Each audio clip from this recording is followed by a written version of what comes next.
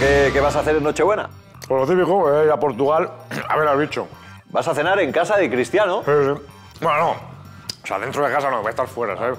Acuérdate que tengo que estar a más de 300 metros por aquello que dijo el juez. Ah. Vamos, que la pasarás solo, vamos. No, no, solo no. Estaré ahí, fuera, pero vendrá la policía después, como todos los años, que tendré que convencerle que no soy un loco para que no me lleven al calabozo. Pero vamos, que solo no. Si es lo típico de todos los años.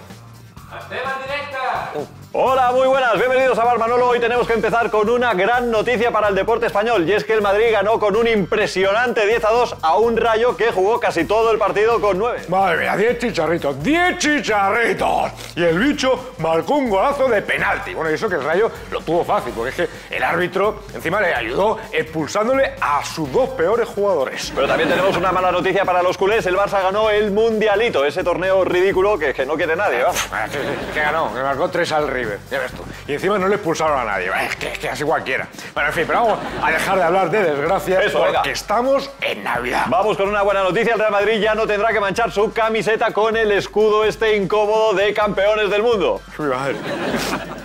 Por fin poder ver el pecho del bicho al descubierto. ¡El pecho del bicho! Claro que sí, te lo mereces, Manolo, te lo mereces. Con el vídeo. Cristiano Ronaldo, el legendario, el nuevo Obama, sabe lo humillante que es portar un escudo de perdedores como el del campeón mundial. Ese torneo que nadie quiere, por eso quiere arrancárselo. Fíjense, intenta hacerlo desaparecer con sus manos de virtuoso. Pero no solo eso, invadido por el espíritu de la Navidad, Cristiano detecta que en la grada hay un niño sin juguetes y decide lanzarle el balón. Messi, en cambio, no quiere saber nada de la Navidad. No le importan los niños. Está demasiado ocupado con su maléfico plan para ganar el ansiado balón de oro. Decepción y vergüenza. Lo de este Messi no es normal, es que se merece que lo encierren. Bueno, tranquilo, Manolo, no te hagas mala sangre, que bastante condena tiene el chaval ya con tener que llevar todo el año el escudo de campeón del mundo. Ah, es que sí, ¿verdad? Raúl Selección. Eso, bueno, lo dejamos aquí que aún tenemos que escribir la carta a los reyes. Adiós. Venga, hasta luego.